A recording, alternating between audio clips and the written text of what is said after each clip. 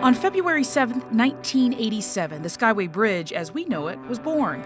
The structure towers 430 feet over Tampa Bay and is one of the most recognizable landmarks in Florida.